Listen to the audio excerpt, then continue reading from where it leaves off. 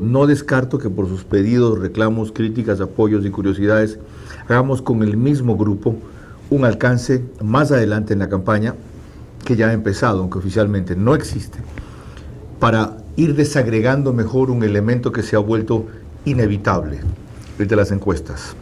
¿Tienen ustedes ahora ya algunos criterios y herramientas sobre cómo entenderlas, cómo evaluarlas, a cuáles darles cierto margen de crédito y frente a cuáles también reírse?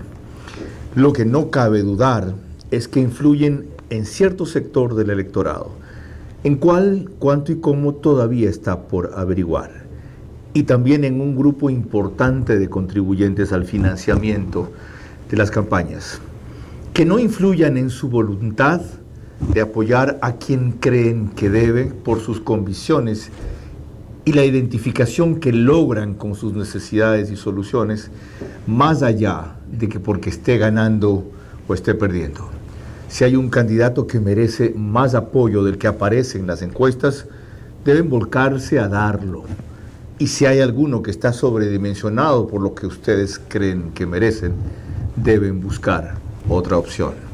Eso sí, la única forma en que 70% sea más que 30% es que no se divida para 7, sino que en el momento crucial ustedes se concentren en uno.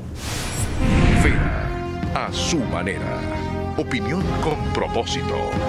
Democracia.